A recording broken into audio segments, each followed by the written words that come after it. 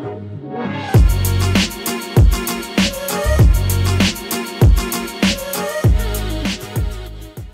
guys, me and my sister come to you from the beautiful city of Oslo, which is the capital city of Norway.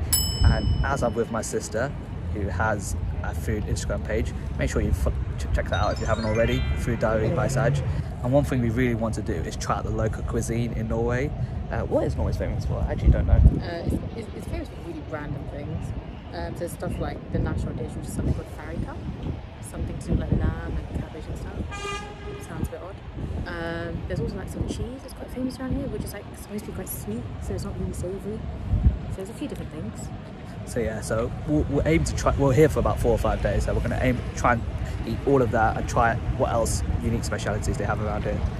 So we've come to Mafalin, Mafalin, Mafalin. Not entirely sure how you pronounce it. Oslo, which is supposed to be the most famous sort of food hall in the city. So yeah, come here to check out the food and hopefully grab some nice dinner.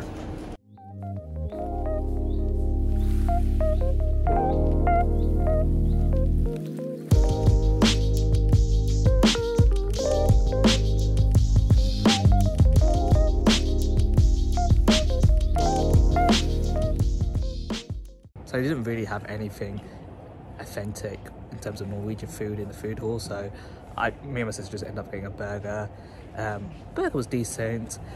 I was reliably informed by the waiter that the drink I had, which was uh, called Solo, is the Norwegian version of Fanta, um, which was, in my opinion, actually better than Fanta, as it has a little bit of a sweet kick to it. And so, yeah, definitely better than Fanta. The only qualm I had is the burger and chips and drink I got, and with my sisters as well, would be the equivalent of about 25 pounds, 30 pounds in the UK.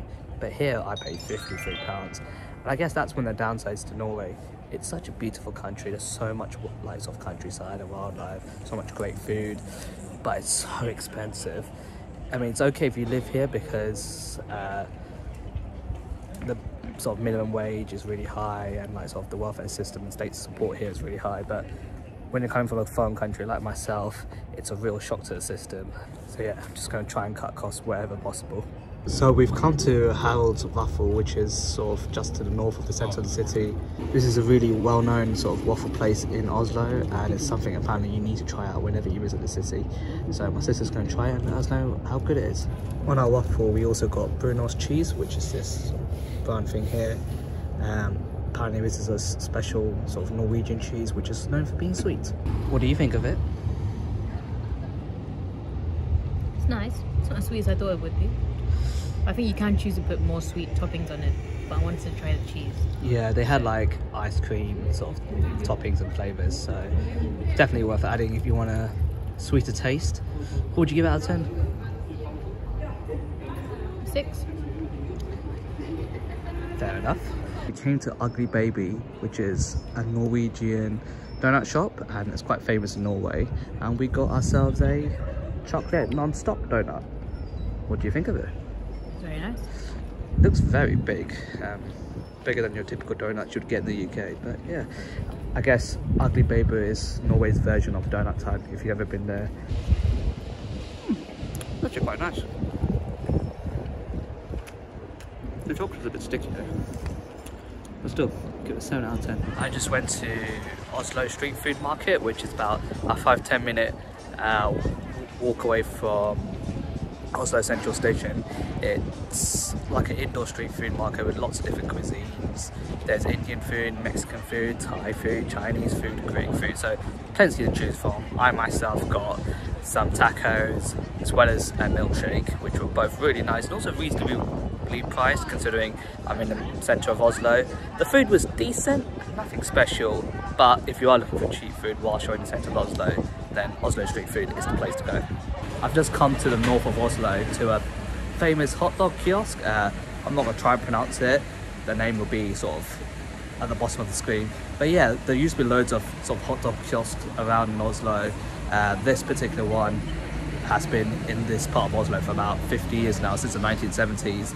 Uh, sadly, this is the only one that stands. Uh, there used to be like well over 50, so yeah, it's a bit sad that there's only one kiosk left. And apparently this is like a really famous like Oslo landmark, well food landmark I guess. So definitely something you need to try out, uh, especially if you're really into hot dogs like I am.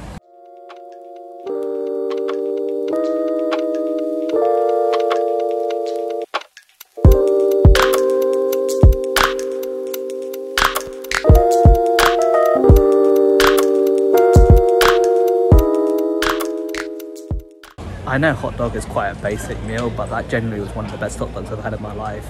Um, they also do vegetarian hot dogs, uh, which my sister tried, and she said that the vegetarian hot dog was also really good as well. So definitely worth trying out if you're in Oslo. We've come to a cafe to try something called Skolboard or Skolbread. Um, as you can see, it's sort of like a lo local Norwegian custard bun.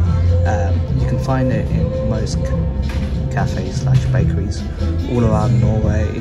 And yeah it looks very sweet. And also a lot bigger than I imagined it to be so I'm gonna try it now and let you guys know how it tastes. Just back at my hotel room. The Skolberg wasn't really my thing. It had a way too much coconut in it for my liking. Not really a fan of coconut in chocolate in chocolate slash sort of sweet products and yeah didn't really float my appetite. But if you do love coconut then it's definitely worth trying out. The custard in the middle is quite nice, but I don't know, just with the coconut, it didn't feel right to me. I hope you guys enjoyed the video uh, and hopefully I've given you a taste of different Norwegian food slash places you can go to whilst you're in Oslo. Um, unfortunately, there isn't a lot of like Norwegian specialities and we, we didn't even try some of them such as furikal. Having looked up what it is, it just didn't seem that appealing and considering how expensive everything is here in Norway. I don't really want to. I didn't really want to waste money on something I'm, I was. I'm not. I'm never gonna like. and never. I'm never gonna try really. So I didn't try that, but be feel feel free to try that out yourselves whilst you're here. But yeah, I hope you guys enjoyed the video. Uh, make sure you check out all my other videos within this whole sort of Norwegian travel series, and also make sure you subscribe and like and do all that good stuff. And as always, hope you guys are doing well, and I'll see you guys in the next one.